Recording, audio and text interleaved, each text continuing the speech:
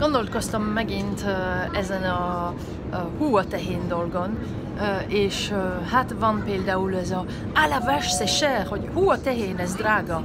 À la vache c'est cher. Hú a tehén, ez drága.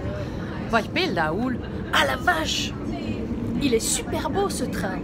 Hú a tehén, nagyon szép ez a vonat.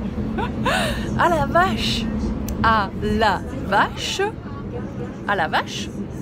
Il est super beau ce train. Il est ez super, super, nagyon, mm, super.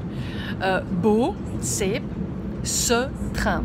Ez a vonat. À la vache, il est super beau ce train. Ú, nagyon szép ez a vonat. És tényleg az. Yeah. Mondtam tegnap, vagyis ahogy mondtam a másik videóban, tulajdonképpen igen, tegnap filmeztem, um, ezt a hú a tehenet nagyon sok mindenre lehet használni, szóval most már van négy példátok.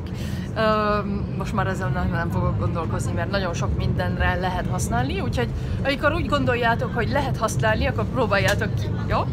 Sziasztok!